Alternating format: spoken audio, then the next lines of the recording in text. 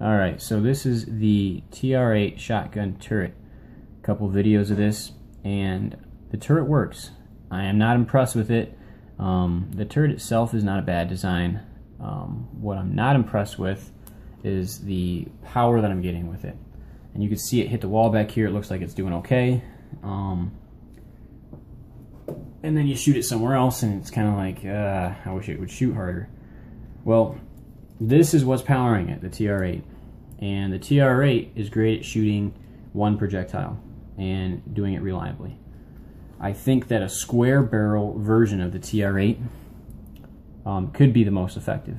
And that's because a square barrel has more room for your firing pin um, to kind of wiggle around in almost, um, so there's less friction.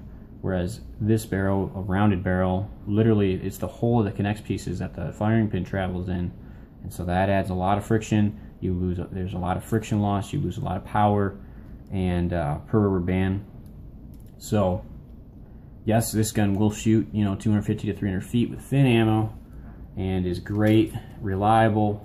Um, I think that ultimately the best TR8 would be a square barrel version of it in which you don't sacrifice any of the reliability that you get with this. And that's that's really a hard thing to accomplish um, with the slide that's worked so well, everything. So that's a project in and of itself, but we'll talk about that another time. Um, but what I want to do is use these shotgun barrels. This is the barrel that I use on my 18 barrel or 18 uh, turret shotgun barrel video or whatever. Um, I just have the pieces up front and an empty space in back because this is where all the other barrels would connect to each other. So this is the length of the barrel. Seven green rods exactly, which is really nice. So that's a lot of ammunition going down range. Holds it very nice.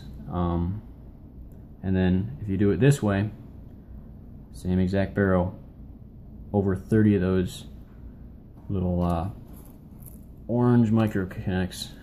So if you're indoors and you need, you know, this is a great ammunition. And then if you're outdoors or even indoors, this ammunition is a little bit harder. It's going to hit a little bit harder. It's like bird shot, buck shot sort of idea. Um, but with the shotgun, you're going to need a square barrel.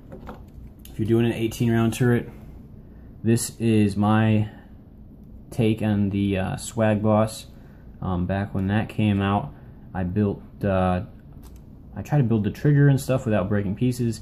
I did successfully do it. Um, I have it all torn apart right now.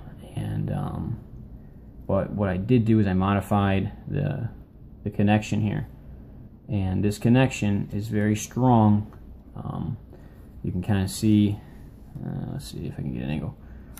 This rod here is just sort of snug in place and that's not going anywhere you could change this out with black rod and uh, mount the 18 round turret. So by doing that, um, you're going to have a awesome turret connection for the 18 round turret. Obviously you need one at the front to, to support it, but um, this is the connection I want to use, not the gun, just the connection. Um, but remember, square barrel is what I would need to use. Um, I actually like this trigger idea. It is a straight back slide trigger. However, really the thing that I like best about it, and all this straight back slide thing can be modified, but the roller bearing trigger, that's what I like. Um, it really reduces friction, makes charging the weapon very easy. So that's the uh, the trigger idea I want to use. So that trigger idea, this connection point, square barrel and these shotgun barrels all mounted together. And then if I can I want to make it pump action. That is the ideal weapon I'm trying to build. So let me give you an idea how this shoots. Um, we'll start with the green rods and we'll go from there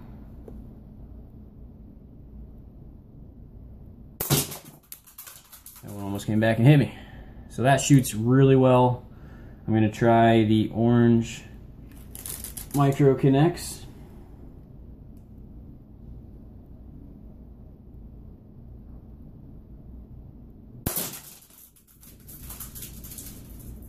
That shot not too bad as well. There's actually a couple micro connects. Looks like they got stuck in the barrel. Maybe just one. Or two. So, not too bad. It sh shot the uh, seven green rods really hard. And that is ultimately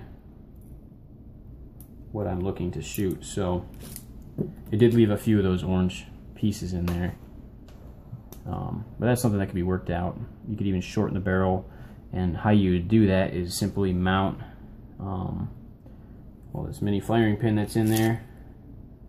You just mount it further forward, so that way you can only load so many of them up.